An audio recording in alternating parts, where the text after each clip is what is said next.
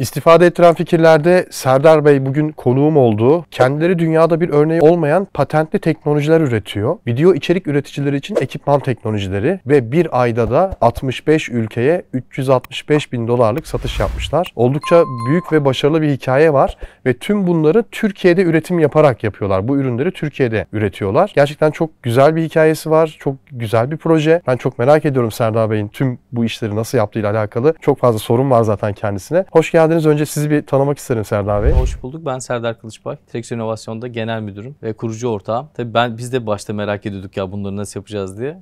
en başında bayağı uzun bir yolculuktu ama sonunda dünyanın 65 ülkesine ihracat yapan, teknoloji ihracatı yapan ve şu anda da geçen gün itibariyle Japonya'da bir kitlesel fonlama projemiz başladı. En başı tabii şey biraz cahilliğin verdiği cesaretle girdik aslında işe 2015 yılında. Peki yani video içerik üreticileri için ekipman teknolojileri üretmek yani çünkü çok e, niş bir kategori. Yani benim aklıma gelmez mesela böyle bir şey yapmak. Hatta biri bana dese ki ya Tuğer Türkiye'de böyle bir ürün üret, üreteceksin ve bu üründe Kickstarter üzerinden bir ayda 365 bin dolarlık satış yapacaksın. Yani ben hayatta aklıma böyle bir şey gelmez. Şimdi biraz daha geriye gidelim. Yani sizin belki ticarete ilk başladığınız zamanlara gidelim. E, bu kafanın nasıl oluştuğunu, bu düşüncelerin tohumlarının nasıl atıldığını çok merak ediyorum. Ya tabii ilk günden böyle bir hedefli yola çıkmadık. Daha çok daha önceki hedeflerimiz yurt dışında bir şeyler satıyor olmak ve nitelikli ürün satıyor olmaktı. Daha öncesine gidelim. Makine mühendisiyim. Bu işe başlamadan 8 sene önce bir endüstriyel ürünler satan bir iş yerim vardı. İş yerimin 8. yılında çok kötü bir şey başıma geldi. Neredeyse tüm mal varlığımı kaybedecek bir e, ticari bir olayla karşılaştım. Kendi işinizi değil Kendi mi? işimde evet. Kendi iş yerimde. Sonra dedim ki ya bir şey yapmak lazım ve bunu yurt dışına satıp parasını önceden almak lazım. Yani herhangi bir alacakla alakalı herhangi bir derdimizin olmayacağı tek yöntem bu. Bir de bunu nitelikli bir ürünle yapmamız gerekiyor dedim. O sırada kardeşim üniversiteyi yeni bitirmiş. Görüntü yönetmeni olmak isteyen kardeşim üniversiteyi yeni bitirmiş ve kendi şirketlerini kurmu- kurmuşlardı. Bana dedi ki abi bana bir doli lazım. Dedim Dolly nedir? Dolly raylı bir mekanizma. Görüntü yönetmenlerinin üstüne oturuyorlar ve birileri de çekiyor. Dedim ben bunu yaparım ama ticari olarak bir şey düşünmemiştim aslında. Ee, bunu 3 3 ay sonunda hiç böyle ticari düşünmeyerek yaptım. Verdim sonra bununla bir canlı yayına katıldık. YouTube'un canlı yayınına katıldık. Altın elbiseli adam vardı. Allah rahmet eylesin. Onun canlı yayınına katıldık ve ya bu çok güzel abi dedi ama çok büyük. Bunu böyle daha küçük yapabilir miyiz dedi. 2 senedir gimballer üretiliyordu dünyada. Gimbal büyük bir hedef aslında bakarsanız. Yani hani yapabilir miyiz? Nasıl yaparız? İçinde elektronik var, mekanik var. Ben çocukluğumda ilkokul 5'te flip flop devre elemanlarıyla devreler yapan birisiydim. Yani çocukluğumdan beri elektroniğe ve programlamaya merakım vardı. Oradan küçük küçük bilgileri bir araya getirerek yapabileceğimizi düşündüm. Tabii baştaki bunun fizibilitesi, karlılık hesapları şu anda öğrendiğimiz bilgilere göre çok yanlışmış ama eğer çok biliyor olsaydık da belki o noktadan başlamayacaktık. Dolayısıyla baktık ham madde fiyatlarına, satış fiyatlarına baktık. Dedik ki bu olabilir. Sonra ARGE çalışmaları başladı. SolidWorks'ta çizimler yapıldı. Çin'e gönderildi. Dedik ki biz bunların motorlarını istiyoruz sizden. Çin'de bir üretim hedefimiz yoktu ama motorları üretmediğimiz için istiyoruz. Bir fiyat belirledik ve dedik ya tamam bu ham madde fiyatlarıyla, bu satış fiyatlarıyla biz bunu yapsak karlı olabiliriz. Biz de bunu 6 ayda yaparız. 2,5 sene sürdü. Ama nasıl bir 2,5 sene? Yani e, bir şey yapıyorsunuz, bir yere kadar geliyorsunuz. Pilden örnek vereyim. Pilin altyapı yazılımını ben yapmıştım. Bir mühendis arkadaş da çok iyi niyetli bir mühendis arkadaş da iş yerime alıp yazılımını ve PCB kart tasarımını yapmasını istedim. 3 ayın sonunda abi çalışmadı dedi. Dedim neden? Bilmiyorum dedi. Yani şunu anlatmaya çalışıyorum. 3 aylık süreçler, 6 aylık süreçler eşlenik olarak gidiyor ve her birinde başa dönüyorsunuz sürekli. Fakat kaybolan bir şey olmuyor. Nasıl olmayacağını öğreniyorsunuz. Ama bir seviyeden sonra da bir şey oluyor ve artık onu kilitleyip kenara koyuyorsunuz. Böyle üstüne koya koya koya koya biz 6 ayda ticarileşiriz dediğimiz şeyi 2,5 sene sonunda ticarileştirdik ve Amerika'ya sattık bir ürünü. Sonra Almanya'da Red Dot Design Awards diye çok büyük bir ödül mekanizması var. Oraya çok umutsuzca ürünü gönderdik. Çünkü ürün İlk yaptığımız ürün gimbaldi. Ürün dünyada diğer örneklerin yapamadığı şeyleri yapıyordu. Oradan gelen mail maili hatırlıyorum. 4 3 sayfa bir mail var ve şey düşünüyorum ben yani katıldığınız için teşekkür ederim yazısını arıyorum mailde. 3 sayfa neden gönderdiler ki filan. En altını böyle hızlıca e, sürükleyip baktığımda kaliteli tasarım dalında red dot aldınız. Biz Almanya'ya gittik. Çünkü öyle bir şey ki Türkiye'de bu tarz şeyleri yapıyor olmak. İnsanlar sizi sorguluyorlar. Ne oldu o sizin şimdi? Sanayide şöyle bir şey var işte. Bir şeyle uğraşıyorsunuz deli gibi. Ben günde 16 saat, 17 saat. Rutinimdi yani. 16 saat çalışıyorum. Çünkü çok deneyip çok yanılmam gerekiyordu. Onu böyle günde 8 saatte yapamazsınız. İnsanlar da neyi yap ve sonuçlarını çok hızlı görmedikleri için doğru bir şey demişsiniz değil misiniz anlayamıyorlar. Ne zaman ki Almanya'dan ödül alıyorsunuz tebrikler ben zaten biliyordum senin bunu kazanacağını diyorlar ama iş öyle değil gerçekten yani. Gerçekten çok yanılmanız gerekiyor ve bizden önce bu yolda yürüyen çok insan olmadığı için de gidip kapılarını çalamıyoruz. Yani çünkü o kendine özel bir problem. O kendine özel bir problemle haşır neşir olmuş insan sayısı da çok az. Böyle aslında ilk ürün ticarileştikten sonra biz Amerika'da fuara gittik. Orada insanlara tanıttık. Ee, sonra şunu anladık. Yani ürünün kendi kafamızdaki o mükemmel özelliklerinin müşteri tarafındaki yansımaları işe başlangıç noktasında işe karar verirken daha önemli olduğunu anladık. Yani size göre çok iyi bir fikrin aslında müşteri tarafında ne kadar iyi olduğunu T0 anında değerlendirirseniz doğru bir noktadan yola başlarsınız. Biz fuara gittiğimizde şunu gördük. Ürün çok güzel. Satın almak istiyorlar. Ürün özelinde konuşacağım. Büyük bir ürün üretiyorsunuz. Yerinde servis gerekiyor. İşte büyük bir ürün üretiyorsunuz ve çok fazla ücreti var, satış fiyatı var. Ve siz orada değilsiniz. Amerika'da değilsiniz. Şimdi bunlar hepsi dış pazarlarda soru işaretleri. İlk önce bu soru işaretlerini çözen bir kurgu yapmalısınız veya elinizde ürün varsa o ürüne göre hareket etmelisiniz. Biz şöyle bir yol izledik. Kitlesel fonlamayı keşfettik. Kitlesel fonlamada biz bu ürünü çıkartalım dedik ve ilk kitlesel fonlamadaki şu anda evet Türkiye'de bu işi en iyi yapan, en, en iyi bilen insanlardan bir tanesiyiz. Şirket olarak da öyleyiz. Ama o gün öyle değildik. Mesela ilk ürünü yaptık. İşte Almanya'dan ödül alınıyor.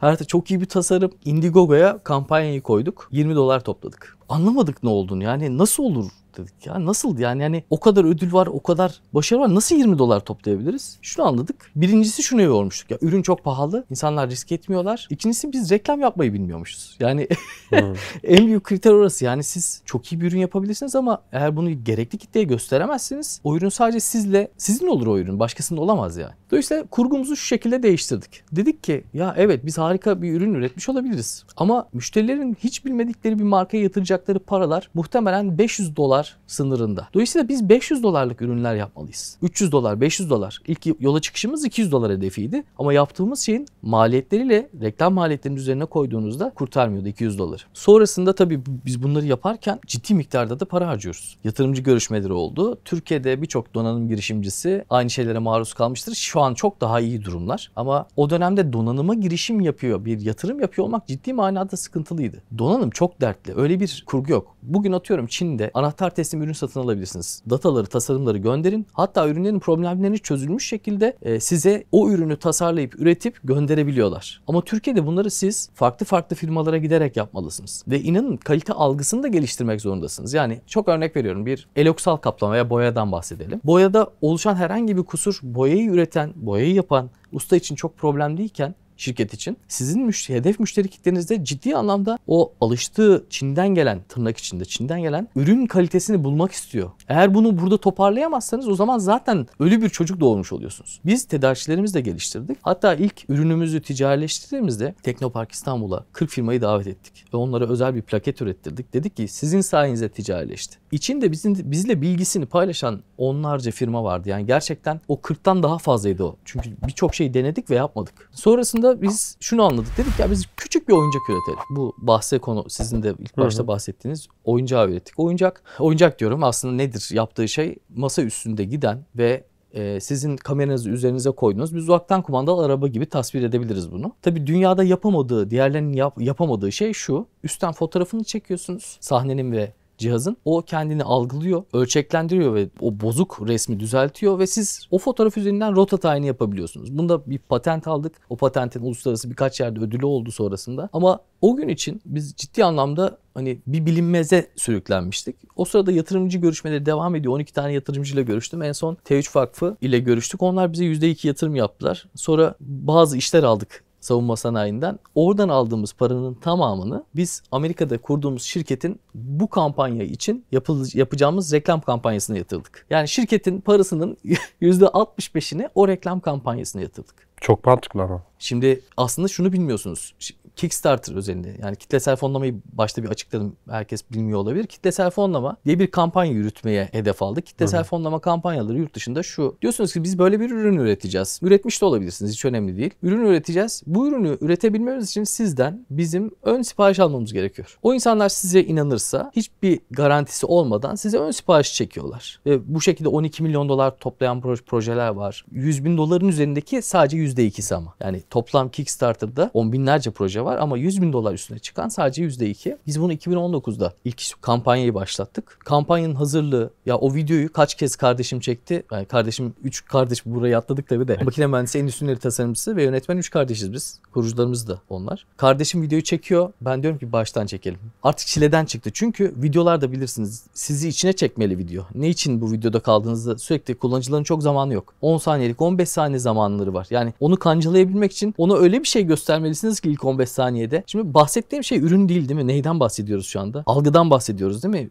Yani aslında ürettiğiniz şeyin dışında biz başka tecrübeler de edindik yolda. Sondan başa gitmemiz gerektiğini konuştuk. Başta ürünü ürettik. Ürünün harika olduğunu, ne kadar iyi bir ürün olduğunu düşündük. Sonra dedik ki hayır sondan başa gideceğiz. Algıdan, müşteri ne istiyordan. Sonra bu ürün ortaya çıktı. Kampanya için gerekli anlaşmaları yaptık. Ondan sonra bu arada kampanya başlamadan önce kampanyayı nasıl yapmamız gerektiğiyle alakalı daha önceden Türkiye'de Kickstarter yapmış bir firmaya gittik. Mayops'a. Mayops bizim ürünlerle çok eşlenik ürünler üreten bir firma. Dedik ki bakın eğer bizi rakip olarak görüyorsanız tanışıp ayrılırız. İTÜ Teknokent'teler onlardı. Ama dedim sizle biz bu tarafta, yurt dışı öbür taraftaysa sizin bildiğinizle bizim bildiğimizi birleştirirsek daha kuvvetli bir yere çıkarız. Sağ olsunlar çok dürüstçe davrandılar. Amerika'da şirketi nasıl kurarsınız? İşte nasıl Kickstarter kampanyasında nasıl başlanır? Bunları paylaştılar. Biz de dedi bu çantayı yapamıyoruz. Mekanik ve donanımsal bir şeyi yapamıyoruz. Çünkü onlar daha çok yazılım ve elektronik yani çok fazla donanımsal öğeleri içermeyen şeyler üretiyorlardı. Biz elinden tuttuk. Bunların hepsini bizim tedarikçilerimize gezdirdik neye ihtiyaçları varsa. Onlar da bize bu işin nasıl yapıldığını anlattılar. Kampanya başladı ilk gün. Biz kampanyayı işte videoları çektik. Tekrar tekrar oh dedik bu içimize sindi. Ondan sonra videoyu yayınladık. İlk gün bekliyoruz. İlk 24 saat içinde 100 bin dolar sınırını geçtik. Ya o bizim için çok büyük bir kırılımdı. Bir de Japonya'dan inanılmaz bir şey talep gördük. Biz akşam olunca Japonya bayrağı koyuyorduk şeye. Çünkü hani insanlar biraz daha aidiyet duygusu hissetsinler Japonlar falan. Onların prime time'ında onların bayrağını koyuyorduk kampanyaya. Sonrasında biz dört, dördüncü haftanın sonunda ki reklam bütçemizi pazarlama hizmeti veren firma şunu söyledi bize üçüncü günün sonunda. ROAS diye bir katsayı var pazarlamacıların bildiği. Return on Ad Spend diye. 1 dolar karşılığında 22 dolar kazanıyorsunuz. Böyle bir oran yok. Hani para bulamıyorsanız biz size para bulalım. Biz reklam bütçesini 5 katına çıkardık kampanya devam ederken. Sonunda biz 365 bin dolarlık ciro yaptık. Rahatladık. İnanın bakın 2015 yılında hiçbir şey bilmiyorken, hiçbir tedarikçimiz yokken. Ve bunları Türkiye'de üretiyorsunuz yani. Kesinlikle öyle. Dışa bağımlılık yok. Var. Motorları üretmiyoruz Sadece Türkiye'de. motor. Ya PCB'ler Türkiye'de üretilmiyor. Hı hı. Bunları parçaları alınıyor. Burada burada PCB'ler yapıyor. Onun haricinde yapılan yazılım bizde. Artık ama bu millileştirmek davasını da çok iyi anlamamız gerekiyor. Evet. Millileşme ne demek? Yani biz tutup motoru sıfırdan buradan yapacağız deseydik o zaman bu projeler imkansız hale gelirdi. Dünyada herkes bir şey üretiyor.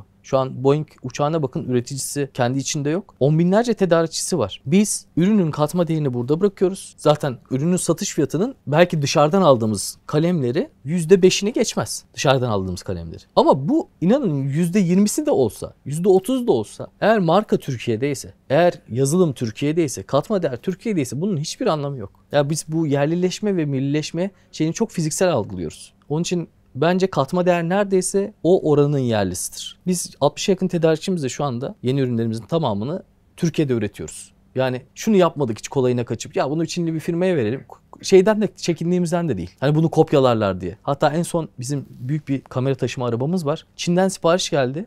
Şey dediler ya Çin'den kopyalamasınlar. Ya dedim kopyalasınlar. Çok zor üretiyoruz zaten. Daha ucuz alırız belki onlardan. Peki 365 bin doları bir ayda Kickstarter'dan Evet. yaptınız. 65 ülkeye satış yapılıyor Evet. şu an. Kickstarter'dan çıktıktan sonra e, satışlar nereden devam ediyor? Kendi sitemizden devam etti. Hı hı. Ee, kendi sitemizden devam ettirmeye çalıştık. Orası başka bir Şey, zaten. şey. Trexo.com mu? Hangi? Trexoin.com. Oradan devam etti. Amazon tarafına baktık. Amazon tarafında kötü bir tecrübemiz oldu maalesef. Bir aracımız vardı. Amazon Store'unu ya işte bizim zaten genelde başımıza gelen kötü şeylerden sonra onların yüzünden hep iyi şeyleri yapmaya başlıyoruz. Hep öyle oldu. Amerika'da bir aracımız vardı. Dediler ki biz Amazon kendi store'umuzda sizin ürünlerinizi satacağız. Ürünleri bize gönderin. Satmaya da başladık. Biz reklam verip onlara ürün sattırdık. Ortadan kayboldular. Sonra dedik ki biz Amerika Amerika'da kendi store'umuzu açmalıyız Amazon'da. Ha, Amazon danışmanlığı veren firma kayboldu. Anladım. anladım. O firma E, kayboldu. ke- kendiniz açsaydınız mağazanızı. Ya öyle de tabii şimdi şöyle bir durum var içeride. Bunu iyi anlamak lazım. Birçok şeyi organize ediyoruz. Bir bir bizim şirkette bir fikir ortaya konuluyor. Fikir prototipe dönüyor. Prototip seri imalat yöntemleriyle, kalıplarıyla üretilmeye başlanıyor. Tüm üretim altyapısı kontrol ediliyor. Şimdi sizin ilgilendiğiniz alan başka. Ben yönetimsel olarak kim bir işte uzmansa o işi ona verip o tarafta asıl uzmanlık alanı olan yerde ilerlemeyi hedefliyorum. Çünkü kontrol edemezsiniz. Dolayısıyla bu tarz işlerde şimdi Am- Amazon'u baştan öğren. Ee, baştan orada bir yer aç. Onun işte kendi içindeki dinamikleri öğren. Bunlar kolay şeyler değiller. Evet bugün yapabiliyoruz ama bunlar T0 anında girişmeniz gereken şeyler değil. Çünkü odağınızı kaybedersiniz.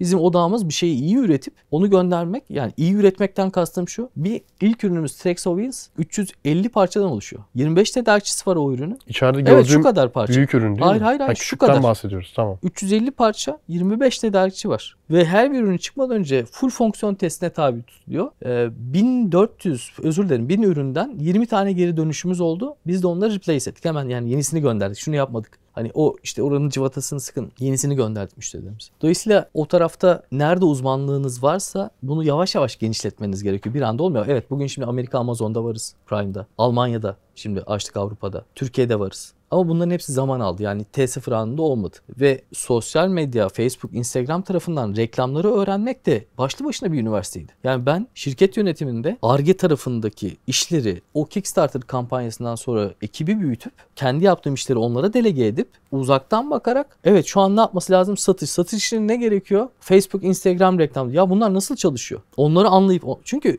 Bilmediğiniz şey yönetemiyorsunuz da. Bugün Facebook'a bugün 1 dolar harcayıp yarın 10 dolar harcayalım diyemiyorsunuz. Bir reklam öğrenmesi var, işin dinamikleri var. Burada da bayağı bir zaman geçirdik. Yani biz baştan uca bir fikri fikir aşamasından alıp ürüne ve bunun dünyaya dağıtımıyla alakalı çok küçük bir ekiple çok başarılı bir iş yaptık. Onu sonrasında bu aslında biraz böyle gerilla taktiği gibi. Normalde pazarlama bütçeleri çok büyük rakiplerinizin. Dolayısıyla siz markette görünür olmak için ne yapmanız gerekiyor? Ya çok yüksek pazarlama bütçeleri harcamanız gerekiyor. Bu söylediğim seviyeler milyon dolar seviyeleri. Çünkü hani reklamınızın gösterilmesi için gerekli o bazı pazarlarda çok ciddi bütçeler gerekiyor. Tıklama başı maliyetler inanılmaz yüksek. Onun için kitlesel fonlama bu anlamda çok mantıklı. 33 milyon tekil kullanıcının girdiği bir yerde sizin ürününüz gösteriliyor. Oradan bir tetiklenme ile ön sipariş alıyorsunuz. Her şey çok net. Kaç ürün göndereceksiniz, kaç tane ürün üreteceksiniz. Her şey planlanabilir ve zamanınız var ve paranız da var. Dolayısıyla biz bunları öğrendikten sonra bu arada bizden sonra gelen insanlar da bize ulaştıkça biz onlara destek olmaya çalıştık zamanım yettiğince. Şimdi bazı mentörlük faaliyetleri var Bilişim Vadisi'nde onlarda üyeyim. Yani çünkü inanın birçok insanın ne bunu yapabilecek zamanı, ne de bunu yapabilecek gücü. Fiziksel gücü ve mental gücü. Ben 16 saat çalıştım. Yani 6 sene, 7 sene boyunca 16 saat çalıştım. Çünkü dediğim gibi çok deneyip çok yanılmak zorundaydım. Sonrasında da biz ikinci projeyi yaptık. İkinci projede yine kamera ekipmanlarıyla alakalı bir slider'dı. Onda da kampanya döneminde 211 bin dolar. Şeyleri almadık kargoları. Kargo paralarını sonradan aldık. Kampanya bitiminden sonra da bir 40 bin dolarlık daha sipariş aldık 4 hafta içinde. Yani her ürettiğiniz üründe o zaman siz e, bir ayda ortalama 250-300 bin dolar Kickstarter'dan Evet. satış yapıyorsunuz Evet. neredeyse. Yani bir ciro elde ediyoruz ve o ciro hemen hesabımıza geçiyor. Sonrasında biz harcamaları yapıyoruz. Tabii buradaki kesintileri, reklam giderleri, üründe o döneme göre mesela Evet. pandemi ciddi anlamda reklamdaki rekabeti ve harcanan paraları çok arttırdı. İlkine göre daha daha düşük bir verimlilikle biz bu 250 bin doları aldık. Çünkü reklama daha fazla harcamak zorundasınız görünür olmak için. Pandemi bu mesela kriterde global anlamda işte resesyondan bahsediliyor şimdi. Bunlar hepsi kriter. İnsanların para harcama alışkanlıkları değişiyor. Ama her projede bunu yapıyoruz. Senede iki tane proje. Şu an iki ay sonra çıkmayı hedeflediğimiz bir ürünümüz var. Kickstarter'ın yapısına daha şimdi şimdilik gizli ama Kickstarter'ın yapısına çok daha uygun ve çok daha temelde çok daha yüksek cirolar edeceğini öngördüğümüz bir ürünle çıkacağız. Ama genel olarak her sene bir tane Kickstarter yapıyoruz. Bu Kickstarter üzerinde alıcının yani para verip bir ürün alan alıcının motivasyonu, düşüncesi ne oluyor? Yani ürünü ilk çıkan, ilk çıktıktan sonra ben almış olacağım ya da ucuz alacağım motivasyonu mu yoksa Ucuzluk bir değil şey mi? bence. Bunu net olarak e, benim anlayabilmem çok mümkün aldı değil ama benim anladığım şu. Dünya genelini düşün. Şimdi Türkiye Evet. dünyanın içinde ticari olarak da küçük bir yerdeyiz yani. Dünyanın Hı hı. genelini düşünürsek Amerika var, Avrupa var, Evet. Japonya var, Uz- uzak doğu var. Burada alım gücü belli bir seviyenin üstünde insanlar var. Bu insanlar yeniliklerin peşinde koşuyorlar. Diyorlar ki ya bugün ne var acaba? Bugün ne alabilirim acaba? Beğeniyorlar. Avantajları ne oluyor? Tabii ki biz normaldeki satış fiyatımızın %40 aşağısında ön sipariş açıyoruz. ürünleri. Bu bir avantaj. Ama diyoruz ki 3 ay sonra ya paranızı bize vereceksiniz. Size 3 ay sonra göndereceğiz. 4 ay sonra göndereceğiz. Evet. Mesela Türkiye'de böyle bir kültür yok. Bunun en iyi örneğini biz bayağı yerde röportaj yaptık. Bayağı bizim sektörde böyle mihenk taşı olan insanlar bizle alakalı görüşler. Türkiye'den 12 tane sipariş aldık. 12 tanesinin 3 tanesi tanıdıktı. Bin siparişin hepsi dünyanın 65 ülkesinden geldi. Bunu kötülemek için söylemiyorum. Öyle bir kültürümüz yok. Evet. Maalesef başımıza da çok kötü şeyler geliyor Türkiye'de. Hani ön siparişler, bu çiftlik banklar anlatabildim mi? Hani dolayısıyla insanlar birbirlerine bir görmediği ürünü satın alma konusunda çok güvenmiyorlar. İkincisi yani yapacaklar mı yapamayacaklar mı? Bir de Türk olmamızın verdiği bir şey var. Maalesef bunu üzülerek söylüyorum. Bu değişiyor günden güne. Bugün yapılan şeylere bakın. Türklerin yaptığı teknolojik ürünlere. Bu 5 sene önce, 3 sene önce böyle değildi. İlk önce Türk firmaları yurt dışında akredite olmak zorundaydı. Türkiye'de başarılı olabilmesi için. Çünkü doğru örnekler yoktu önümüzde. Şimdi önümüze çıkan o kadar örnek var ki, başarılı örnek var ki insanların kendine özgüveni geliyor. İkinci olarak da başkalarına da güvenebiliyorlar. O açıdan çok önemli aslında Türkiye'de yapılan teknolojik hamleler. Peki merak ettiğim için soruyorum. Şimdi ben mesela sürekli işte Çin'de ürün ürettiren bir Hı hı, insanım. hı hı. İşim gereği e-ticaret yapıyorum. Hı hı. Yurt dışına satıyorum. Hı hı. Ürettiriyorum, satıyorum. Ürettiriyorum derken hazır olan bir malı alıyorum aslında. Hı hı. Yani gidip de bu tableti sıfırdan tasarlatmıyorum. Hı. Ama bazen de diyorum ki kişiye bana bunun board tasarımını, PCB board tasarımını gönder. Ben bunu bir mühendise yeniden dizayn ettireyim. Kalıbı da AutoCAD'de tasarlatayım. Sen bunu yapar mısın? Kalıp ve board'u hani birleştirir misin? Yaparım diyor Çinli. Tamam. Tasarımı yaptırdım PC bo- board tasarımını. İşte burada bir tane Type-C girişi değil de 3 tane Type-C girişi koyduran minik revizyonlar. Böyle çok büyük icatlar değil. Mevcut e, board'u revize etmekten bahsediyorum. Tabii kalıp değişiyor. Yani bunun burada bir tane Type-C girişi varsa 3 tane Type-C girişi oldu. Kalıp değişmiş oldu. Neyse kalıbı üretiyor. Tasarlattığım PCB board tasarımını da buna entegre ediyor. Ürün olarak bana bunu teslim ediyor. Şimdi ben bunu alıp Kickstarter'da sunabilir miyim? Aslında sunabilirsiniz farklılık olursa ama her kitlesel fonlama platformunun bazı kısıtları var. Bazısı diyor ki başka bir yerde çıkmamış olması lazım ürün. Çıkmayacak. İlk defa ben yaptım. Bunu, bunu yapabilirsiniz. Ama asıl oradaki mevzu o ürünün eşsizliğinden ziyade onu bir o kadar da önemli. Onu nasıl sunduğunuz, o videoyu nasıl çektiğiniz. Ama ürün o kadar iyidir ki bazen. Mesela örneği var Copyright. Ben Hı hı. çok beğenmiştim bana Kickstarter yapmadan önce ulaşmışlardı. Çok beğenmiştim. Şunu hiçbir zaman göremeyeceğiz. Tabii AB testi yapamayız yani. Tabii. Aynı anda iki tane kampanya başlatıp hangisi daha iyi, daha iyi videoyla, daha iyi içerikli olan Hı hı. muhakkak etkileniyor insanlar. Çünkü aslında orada gösterdiğiniz görsel içerikler, animasyonlar sizin teknik kapasitenizi ve karşınıza verdiğiniz güveni arttırıyor. Dolayısıyla bunu yapabilirsiniz. Bence bunda bir sıkıntı yok. İyi bir videoyla, iyi bir pazarlama stratejisiyle bence bu tarz fikirler iş görebilir. Şunu anlatmaya çalışıyorsunuz. Yani baştan sona ben Hı her hı. şeyi tasarlayıp burada yapmak zorunda mıyım? Evet. Kickstarter için değilsiniz Aynen. tabii. Ya da Bu çok- mühendis olmak zorunda mıyım? Değilsiniz. Daha uzaktan bakıp hatta daha temiz bir iştir. Hı hı. Ama bizim biraz daha böyle milliyetçi duygularla hareket ettiğimiz bir şey var Evet. orada. Burada yapalım, burada olsun, burada yapılsın. Bir de Türkiye'nin durumu da çok müsait buna. Çin'den ben fiyat aldım. Hani bazı şeyleri biz üretmeyelim ya. Genel standart ürünler var. Ball head dediğimiz bir parça var mesela. 7-8 parçadan oluşuyor. Çin'den fiyat aldım. Dünya devlerinden aldım. Fiyat Türkiye'de daha ucuz çıktı. Hedef fiyatınız bu olursa ben sizden alabilirim ancak dedim. Siz dedi nasıl bunu yapabiliyorsunuz?